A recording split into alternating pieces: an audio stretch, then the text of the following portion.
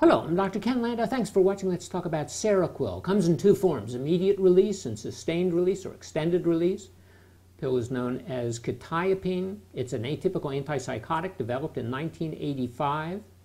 Food and Drug Administration granted marketing approval for the first drug, the immediate release form, in 1997, went off patent in 2012. The sustained release or extended release form granted marketing approval 2007, off patent 2017. Structurally, the drug is related to Zyprexa and clozapine.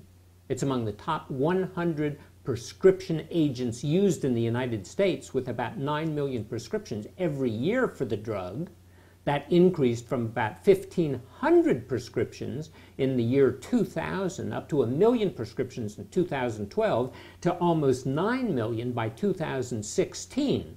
And that level has not been matched by any other atypical antipsychotic, which is especially of note when you consider that the only approved indications for the drug are for schizophrenia and for bipolar disorder the mania or the depressive episodes, and it can be used in treating major depressive disorder when it's added to an antidepressant. In other areas of the world, for instance in Australia, it's also approved for generalized anxiety disorder and treatment resistant depression. The dose of the medicine depends on the disorder and depends on the age of the individual. So if we're talking about schizophrenia, the starting dose for adults would be 300 milligrams increased to between 400 and 800 milligrams for maintenance dose, but adolescents between 13 and 17 start off at 50 milligrams, and then the dose is rapidly escalated to the adult dose on days 3 and 4 and 5. If a person suffers from bipolar mania and is an adult, can be treated either with uh, Seroquel by itself or as an adjunct to lithium and valproate, Adults begin at 300 milligrams and again go to between 400 and 800 milligrams as a maintenance dose. But adolescents, say between the ages of 10 and 17, they begin at 50 milligrams and go to a maximum of 600 milligrams for bipolar disorder with the depressive episodes. We'll start at 50 milligrams and go to a maximum of 300 milligrams. For geriatric patients, people over age 65, then the starting dose is again very low, 50 milligrams. Titrate slowly, especially in people who are debilitated or who are predisposed to low blood pressure. Have to be very careful in the pediatric population because the drug is not approved and doesn't seem to work for people who suffer from bipolar disorder, the depressive episodes. Anyway, in diagnosing and treating children, treating pediatric population, the diagnoses are very complicated, so it wouldn't be bad to get several opinions. People who have liver impairment, again, start with a relatively small dose. Comes in multiple different dose forms, 50 milligram, 150 milligram, 200, 300, 400 milligrams. You swallow the medicine whole. You don't split it, you don't chew it, you don't crush it. You take it with food or a light meal because it's better absorbed with some fat in the diet. If you're taking the extended release, you only take it once a day, preferably at night. If you're taking the immediate release, you have to take two or maybe three pills a day. During maintenance therapy, periodically you reassess to decide if you really need to continue taking the drug. If you stop the drug for any reason for more than a week, you have to start on the titration that we just talked about. You don't start at the maintenance dose all of a sudden. If you happen to be taking the immediate release form and you want to switch to the extended release form because you don't want to take the two or three pills a day, you just add up all of the pills that you take, add the milligrams, and take that as a single shot of the extended release. There's no information, unfortunately, about switching from one atypical antipsychotic to another, or even combining the atypical antipsychotics, which is generally thought of as not being such a great idea. There's a black box warning, especially for elderly people with dementia-related psychosis, that there's increased mortality, also increased suicidal thoughts and behavior in children and adolescents and young adults on short-term studies.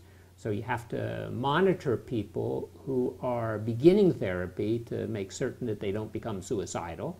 certainly can interact with a variety of other medicines. So, for instance, if you're taking a medicine that acts to inhibit a drug metabolizing enzyme known as 3A4 in the liver, you have to reduce the dose of Seroquel by five sixths. So in other words, you only take about 16% of your dose if you happen to be taking it with ketoconazole, with itraconazole, or with certain HIV medicines. And then when you stop those medicines, then you go back to your regular dose. And you have to increase the dose of medicine fivefold if you happen to be on chronic therapy with, say, St. John's wort or Dilantin or Tegretol or rifampin. And you have to be cautious of taking it with medicines that lower the blood pressure because already the medicine has a tendency to reduce your blood pressure and it can antagonize the effects of levodopa and other medicines that are used to treat Parkinson's disease. Now, it has warnings and precautions saying that you know, if you are elderly and you have those dementia related psychoses, well, there can be about a 60 to 70% increase in mortality from cardiovascular disease, from heart failure and sudden cardiac death and infections aspiration pneumonia being the most common. And it can lead to an increase in cerebrovascular disease in the elderly individuals, stroke and transient ischemic attacks, can lead to thoughts of suicide, even behavior related to suicide, worsening of depression, can lead to emergence of suicidal actions, so the family and the caregivers have to be notified if the person's taken to watch the person, especially if the person starts to develop some symptoms that are unusual for them, anxiety or panic or agitation or insomnia or hostility or impulsivity or restlessness. And doctors should be very careful about the number of pills that they give to people because these pills can be dangerous in overdose. So, in those people who are susceptible, very low number of pills may also cause a condition known as the neuroleptic malignant syndrome. It's potentially fatal. It causes the body temperature to increase, the muscles to become rigid, it causes irregularity of the pulse or the blood pressure, causes sweating and arrhythmias, can cause muscle breakdown, increase in the CPK and the myoglobin and it can cause rhabdomyolysis, breakdown of muscle tissues that leads to acute renal failure. Times it's confused for pneumonia or infections or heat stroke. Pregnancy, there is a problem that if the woman is taking the drug during the third trimester, then the fetus or the newborn can demonstrate the extrapyramidal symptoms or withdrawal reactions. Hmm? That's obviously a significant problem, but this drug might be better than some of the other drugs that are also used for schizophrenia or for significant bipolar disorder. We don't have any good data regarding the major birth defects or miscarriage rate associated with the drug, but we do know that the risks of undiagnosed and untreated major depressive disorder and schizophrenia and bipolar disorder can be significant in pregnant women. The drug shouldn't be used for lactation since it is excreted into the breast milk. There are metabolic changes associated with taking the medicine, so it increases the blood sugar, can lead to ketoacidosis or hyperosmolar coma or even death. And people who are susceptible, they may develop diabetes and demonstrate an increase in fluid intake, increase in the urine output, increase in the amount they eat associated with weakness. About 12% within 12 weeks are going to go from borderline elevated blood sugar to the diabetic level of blood sugar. Also alters the lipid level, can increase the weight, so the cholesterol goes up to more than 240, and the LDL, the bad cholesterol, goes up to more than 160, and the triglycerides go up to more than 200, about 10, 20% of the individuals. And somewhere up to 20% of the individuals going to gain more than 7% of their body weight by the time only two months has gone by of taking the medicine. They also can develop a condition known as tardive dyskinesia with potentially irreversible abnormal movements. Tends to be associated with a longer course and a higher dose, but can occur at any dose for even a short period of time. And it doesn't even matter if you've stopped the medicine. The condition persists will can lead to orthostatic hypotension. So you stand up and your blood pressure falls, you become dizzy and your heart rate goes up and you have fainting episodes and you can fall. It means you have to use a special caution if a person has a history of coronary vascular disease, has a heart attack, or has had heart failure. And people who are predisposed to hypotension seem to be especially at risk. So those people who are dehydrated, people taking antihypertensive medicines. And then the medicine just has a tendency to make you sleepy. And if you add the sleepiness and the tendency to postural hypotension, you can have a significant problem with falls and fractures and everything else. So that's a problem. And especially in the pediatric age group, we know that children and adolescents have a tendency to develop high blood pressure. So the systolic, or the upper number, goes up more than 20 points in about 5 to 7% of the individuals, but the lower number, the diastolic pressure, goes up by more than 10 millimeters mercury in almost half of the people. You can even develop a hypertensive crisis while you're taking the medicine. It's also associated with significant decrease in the white blood cells, the neutrophils, the cells that fight infection. Person can even develop fatal agranulocytosis, where you're not making any of the white cells. You have to caution and use caution in people who have a low white count to begin with, or a history of a low white count associated with different kind of medicines. You should monitor the person before they start taking the drug and then after a short period of time to make sure the white count is stable. Dogs can develop cataracts. We don't know about people, but it's suggested because of lens changes that you have a slit lamp examination before therapy and about every six months while you're on therapy. But even more concerning is the likelihood of what we call QT prolongation. That has to do with the electrical activity of the heart, and we can measure it on an electrocardiogram. Now, concurrent illnesses and medicines that are known to alter the electrolytes can predispose to this prolonged QT. And then if you add the Seroquel, especially if you're also taking a drug like amiodarone or Sotalol or any of the other atypical antipsychotics or Levaquin or Cipro or erythromycin or a tricyclic antidepressant like imipramine, uh, if you're taking quinidine, if you're taking procainamide, well, you have to be extremely cautious. You have to be cautious to make certain that the potassium level isn't too low, the magnesium level isn't too low. You don't even have a slow heart rate. And certainly caution if you have a congenitally prolonged QT, if you have history of heart disease, heart failure, heart muscle disorder, if you're an elderly individual. All of those predispose to this situation that can lead to severe cardiac arrhythmias and sudden cardiac death. The drug also can cause seizures, so we have to use caution, especially if a person has a decreased seizure threshold. Person over age 65, person with a history of seizures, person who has Alzheimer's disease, and thyroid function is depressed by about 20% in somewhere around 2 to 5% of individuals within the first six weeks of taking the drug. And then it can lead to hyperprolactinemia. That's especially in children where we have a problem where about 10% of girls and about 10 to 15 percent of boys develop elevated level of prolactin. Prolactin is a chemical that's made by the brain that tends to cause enlargement of the breast. And in young boys, that's obviously a significant problem. It causes that because it antagonizes the dopamine receptor. So when you have elevated prolactin, that can lead to production of breast milk. It can cause a decrease in reproductive function. It can cause a decrease in the production of sex hormones, amenorrhea, impotence, and of course it can lead to a decrease in the bone mineral density. And it's estimated that as many as one in three breast cancers are at least in part dependent on prolactin. So at least in mice and rats, we know that Seroquel can increase the incidence of mammary gland adenocarcinoma cancer. The mammary gland, which is the equivalent cancer of the breast, also cause pancreatic uh, islet cell neoplasia in rats. Don't know about in humans. Well, can lead to cognitive impairment. That's a significant problem. It leads to somnolence in somewhere between a quarter and a half of all of the people who take it. And again, that can lead to falls and impaired judgment and thinking. It can lead to some problem with motor skills. It can lead to problems if you happen to try to drive a car.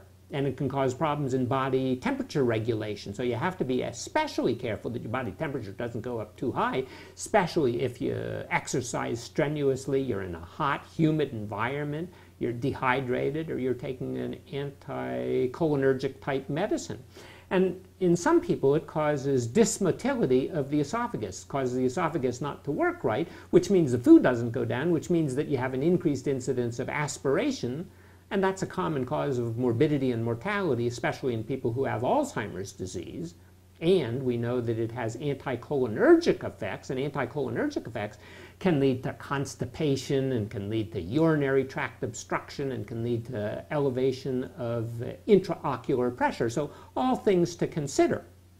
Well, the standard side effects are somnolence, and as I say, between a quarter and a half of all of the people, dry mouth in about a third of the people, leads to dizziness in about 10% of the people, and then a significant percent of the people are going to have dyspepsia, problems with their swallowing, indigestion, restlessness, anxiety or tremor, muscle spasms, are going to have trouble with their peripheral vision, peripheral edema can develop, shortness of breath, people develop peculiar nightmares or priapism, or they get up at night and sleepwalk.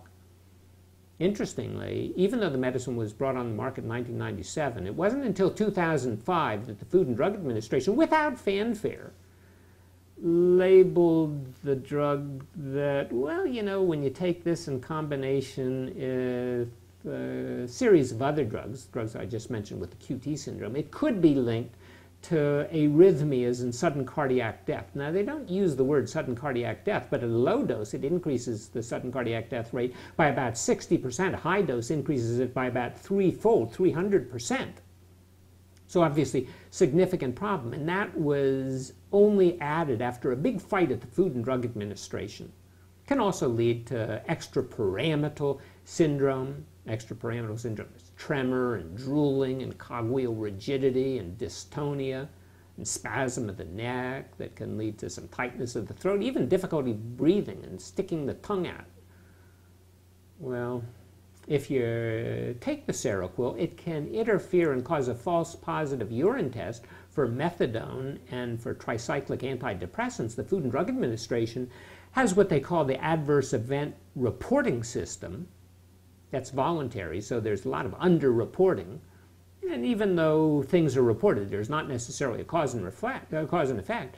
But with Seroquel, with the quetiapine, there have been over 50,000 reports of serious injury and about 10,000 associations with death reported.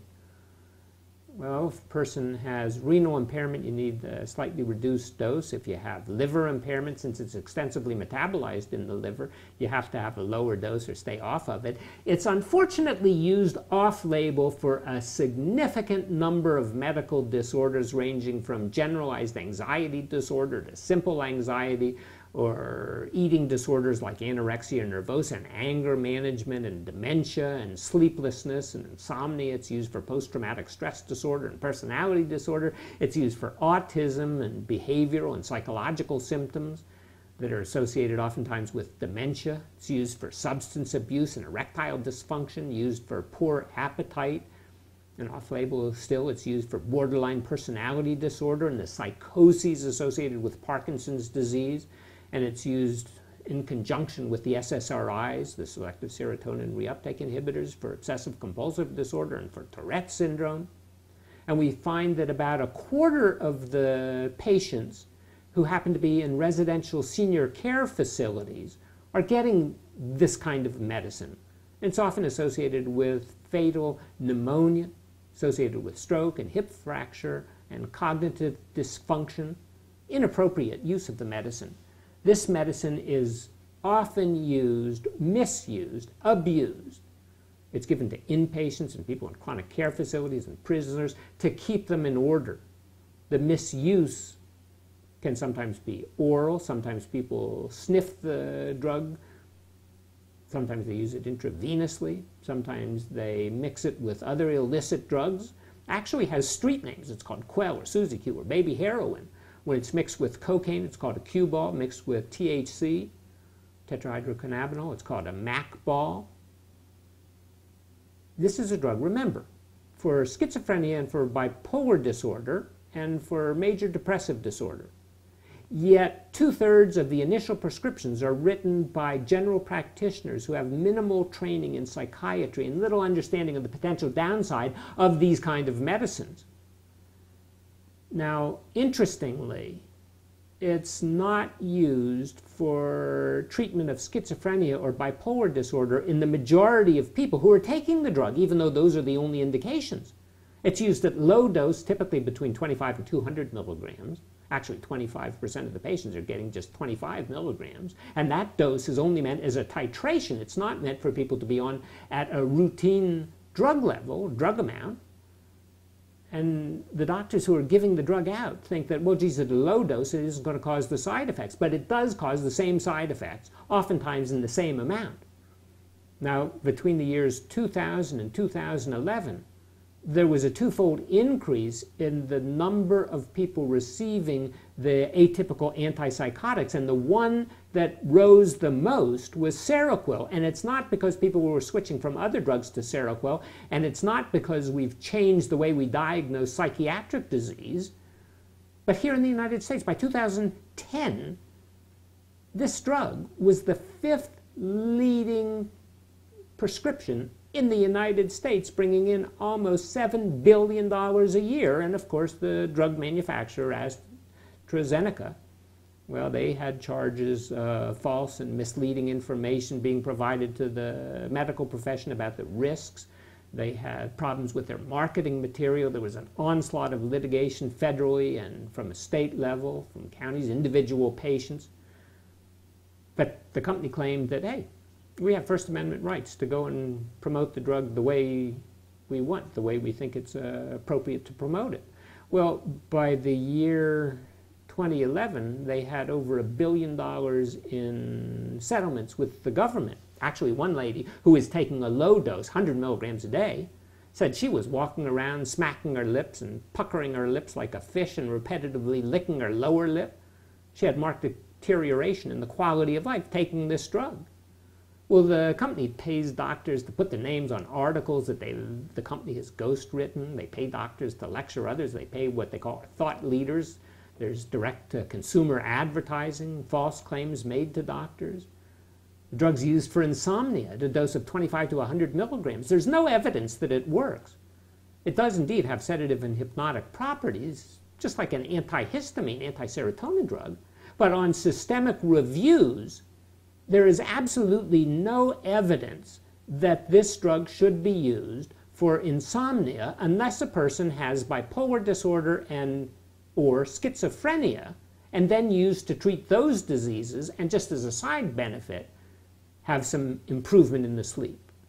But at a recent study in Madigan Air Force Base, or Army Base, I'm sorry, they found that the most common indication for Seroquel, the most common prescription for Seroquel, was for insomnia, 57% of the people, and for anxiety, about 20% of the people. And in fewer than 10% of the people, the drug was used for appropriate indications. Now, as an example, there was a study on the drug for borderline personality disorder. The company AstraZeneca sponsored it. It was headquartered at the University of Minnesota, where Dr. Charles Schulz was the head of psychiatry. Supposed to be an eight week trial, supposed to involve 100 patients, supposed to take two years to finish.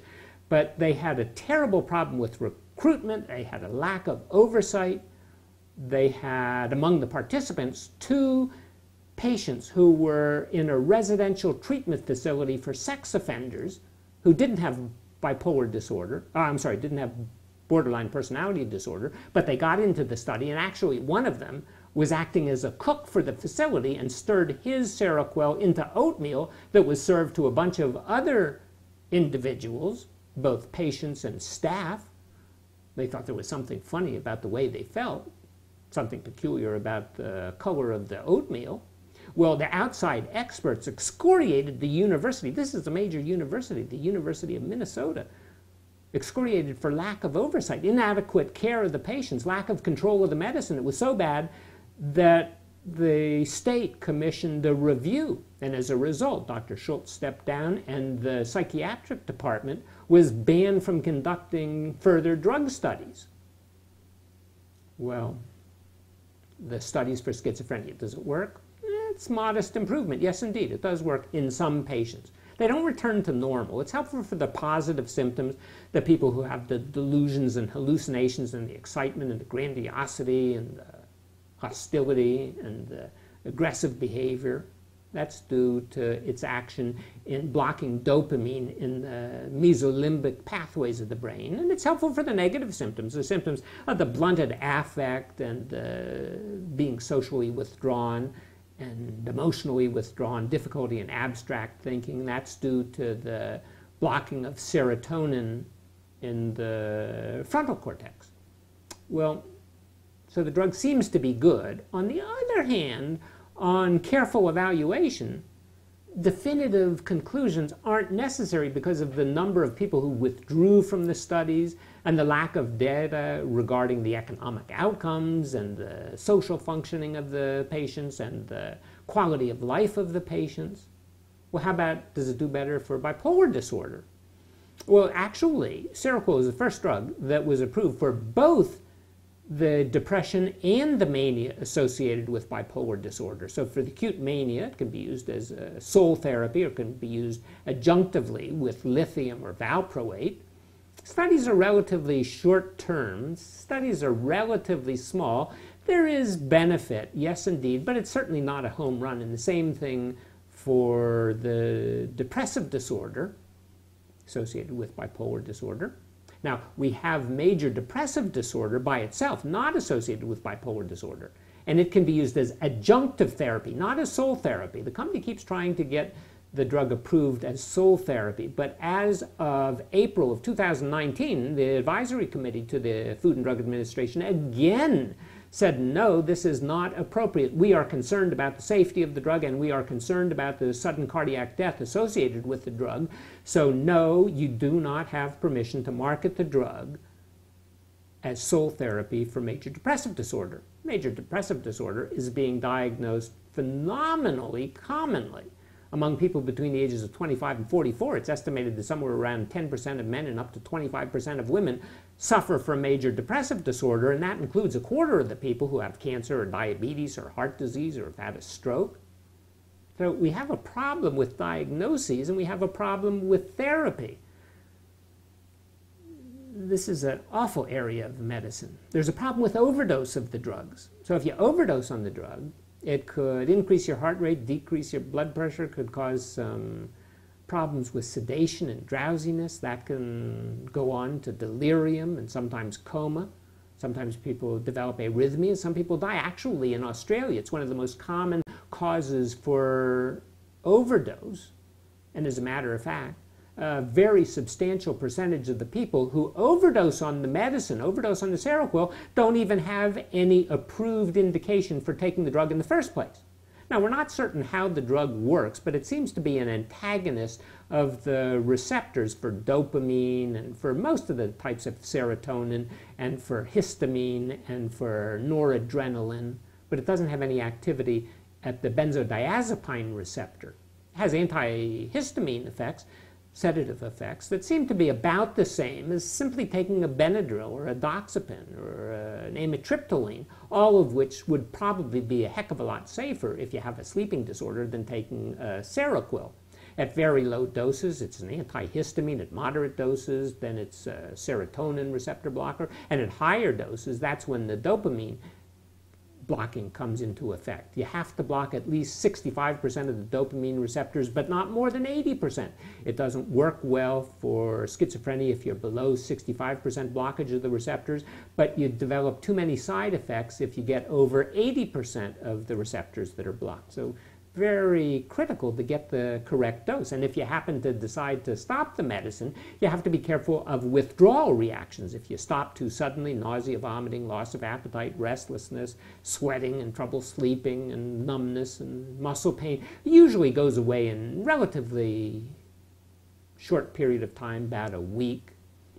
Rarely, some people, when they stop the medicine, even if they never had a problem with psychoses, they could have hallucinations and delusions peak blood level, if you take the immediate release form, is about an hour and a half. The delayed release is about six hours. Best taken with a high fat meal that increases the concentration by about 25 to 50 percent inside the bloodstream. It's metabolized in the liver. The half life uh, is about seven hours. It has a major metabolite. It has a half life of about 12 hours. Clearance is about 40% reduced in people over age 65. That's why we started a relatively low dose. If a person has renal insufficiency, there's about a 25% reduction in the clearance, but the dose doesn't really have to be reduced because there doesn't seem to be any change in the plasma concentration. About 70% is eliminated in the urine, about 20% is eliminated in the feces. Animals that are studied, they develop thyroid gland adenomas and mammary gland adenocarcinomas associated with the increased prolactin we mentioned, and an increase in the incidence of cataracts. Well, does it work differently than any of the other atypical antipsychotics? No, they're all actually about the same. Little difference, but not all that much. As far as the positive symptoms, the delusions and hallucinations, doesn't work quite as well as some of the other drugs, works a little bit better than some of the other drugs for the negative symptoms, the withdrawal, the emotional problems. For cognitive benefits, seemed to work a little bit better. Actually, in 2013, the Cochrane Collaborative Study looked at 15 of the atypical antipsychotics, and they found that Seroquel might work about 10-15% better than the Geodon, works about as well as Haldol and Abilify, works maybe slightly less than Risperdal and Zyprexa.